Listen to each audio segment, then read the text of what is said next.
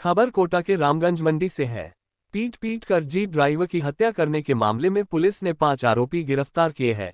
दो महिलाओं उनके पति व ससुर सहित पाँच आरोपियों को पुलिस ने गिरफ़्तार किया है। दो आरोपियों के खिलाफ पहले से तीन मामले दर्ज है। जीप द्वारा टक्कर मारने के बाद दिया था बदमाशों ने वारदात को अंजाम। तीन दिन पहले सुभाष कॉलोनी में हुई थी मारपीट की वारदात। रामगंज मंडी थाना पुलिस जुटी मामले की जाँच में।